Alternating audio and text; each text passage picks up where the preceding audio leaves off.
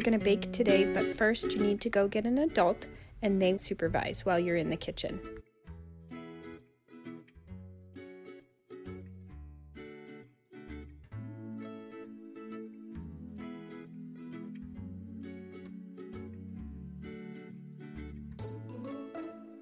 Okay, so parents, if you haven't done this with this with us before, let me explain, and then I'm going to talk with the children. So first, parents, uh, the way I have my tray set up is the way that we ask you to set it up for your child.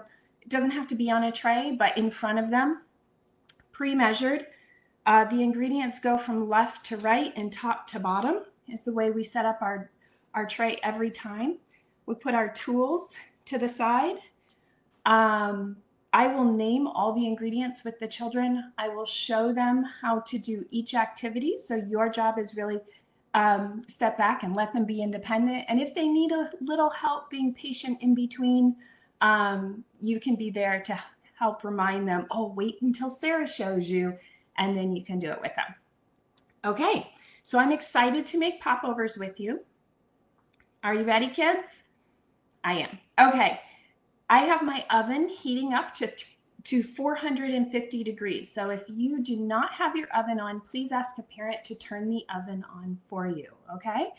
And um, children, if you have not yet washed your hands, now is a great time to go to the sink and wash your hands. I will wait while you take a moment. I've already washed mine. You go wash your hands and then come back, okay? Okay, now everyone has clean hands and we're gonna get started. I'm going to name everything we have on our tray. Are you ready? We have flour.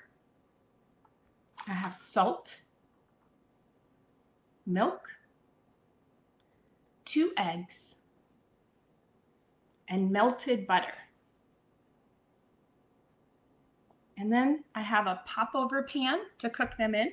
If you don't have a popover pan, you can cook them in a muffin pan. Popover pan, the difference is the, this part is deeper than in a muffin pan. It's a little bit deeper. I have my mixing bowl. I have my hand mixer, which I love to use. If you don't have a hand mixer, you can use a whisk. But for this one, I'm going to be using the hand mixer. And then I have my batter uh, scoop. Uh, which is just a large spoon. So if you have a large spoon, that will work. If you have a batter scoop, that's great. If you're looking for a batter scoop or any of these tools, parents, we have a list of all of our recommended um, child-sized kitchen tools on our website, um, and it's listed under your home.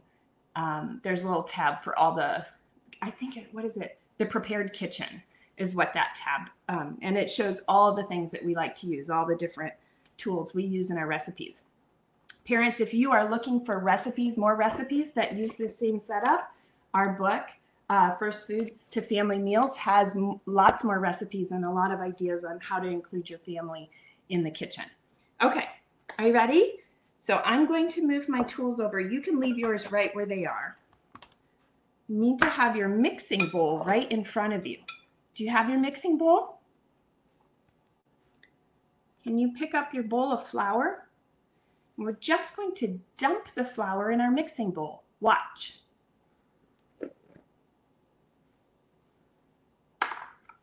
Did you dump your flour? Okay. Now we need the salt.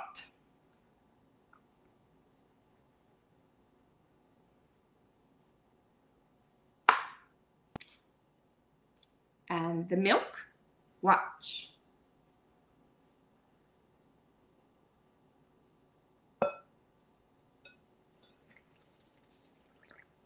Are you pouring your milk very carefully so it all goes in the bowl?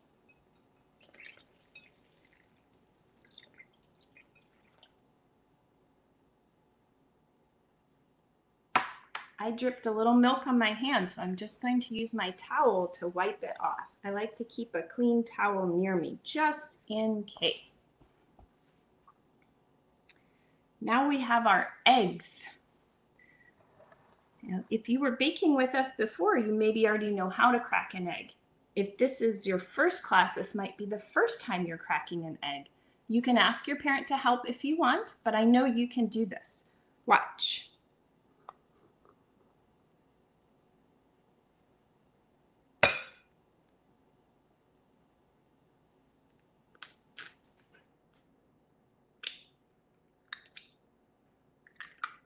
All right, I'm going to do it again. Will you watch again? Watch.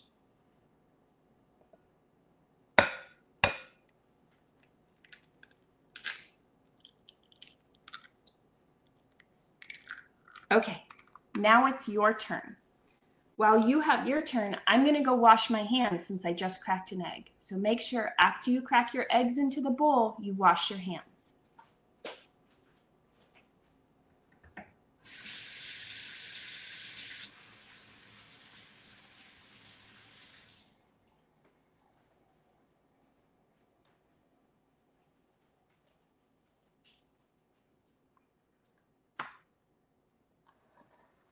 Are you ready for our last ingredient? We have melted butter.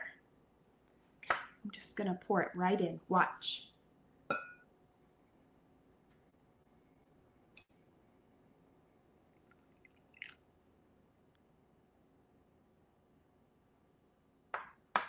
Okay, now it's time to mix. If you have a hand mixer like this, we just turn the handle while we hold the handle on top. Make sure we get those eggs mixed in. Got to break them up. If you're using a whisk or a ladle or a wooden spoon, make sure you press in the middle of the egg all the way to the bottom of the bowl and mix in circles round and round slowly, keeping all the ingredients in the bowl, okay?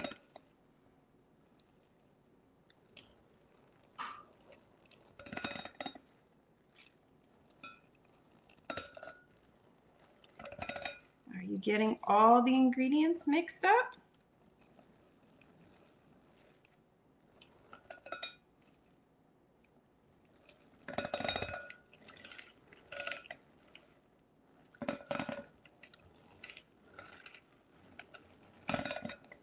All right, I think my ingredients are all mixed up. Are your ingredients all mixed up? That's fun. I'm going to tap it on the side of my bowl and get all the batter in there. Okay, there. I'm going to put it on my tray so it doesn't drip on the counter. There we go. All right, now I'm going to take the batter spoon and my popover tray. I Before we started our class, I sprayed my popover tray with nonstick spray. And um, if you have your parent there with you, they can do that part with you if they haven't done it already. All right. Now we have to fill our baking tray. Let me just move this over so you can see a little better in the screen for those of you on Instagram. Okay. Just a little bit. Watch.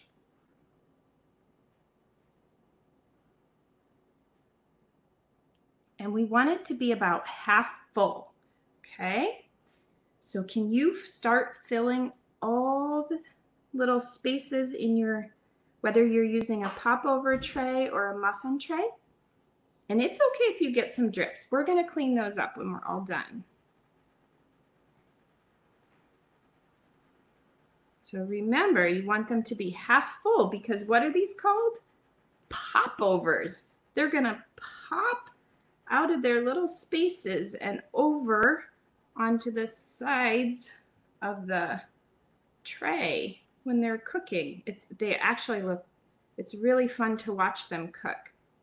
So parents, if you have a glass door on your oven, this is a great one to turn the light on and watch. Can even have the kids bring a little stool or chair in front of the oven to watch how they cook. So they're first going to cook at 450 degrees and then without opening the oven door, you're going to turn the um, temperature down to 350 degrees for the final minutes of cooking. All of that is written in the recipe that we posted, the timing for that. Okay, are you getting yours all filled up? I'm almost done. I have three more to go. I'm going to count them. You can count with me if you want. One,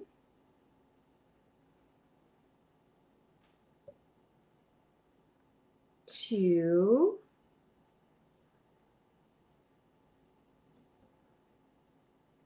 three. All right.